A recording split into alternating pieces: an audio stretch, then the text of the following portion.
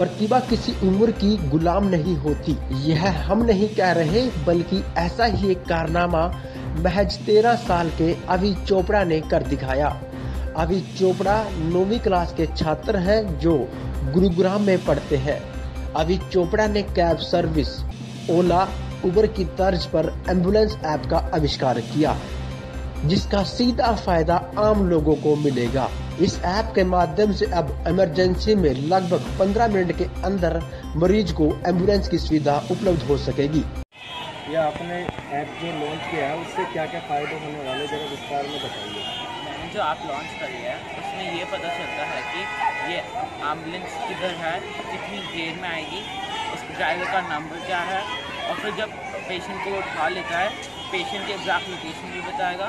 Patient को जब उठाएगा तो अंदर का स्टेटस वो डॉक्टर को भी बता सकता है। इससे ये इससे बहुत सारी जानें भी बचेंगी। वो एंबुलेंस कितनी देर में पहुँच सकती है? ये भी पता चलेगा अच्छा अच्छा। तो इसके लिए ये मतलब सरकार से मर्ज दिया गया है क्या? हाँ जी। अभी हम लोग सरकार से मर्ज करने की कोशिश ही कर रहे हैं। हम लोग यूपी सरकार से मिले हैं हरियाणा सरकार से भी मिले हैं। अच्छा वहाँ से क्या मतलब क्या आश्वासन क्या मिला आपको? बहुत अच्छा आश्वासन मिला। उन्होंने कहा है कि हो जाएगा अभी पर वो थोड़ा टाइम लग रहा है तो हो जाएगा। अभी अभी तीन महीने में अभी आप अभी आप एट्थ क्लास में पढ़ते हैं तो ये आपके इनोवेशन इतनी बड़ी इनोवेशन कैसे आपके आई दिमाग में? जैसे मैंने जब देखा कि हमारी कॉलोनी में एक आंटी रहती थी उनके हस्बैंड को हार्ट अटैक आया था और फिर हॉस्पिटल सिर्फ़ 10 मिनट दूर था उन्हें एक घंटा लग गया आते हुए।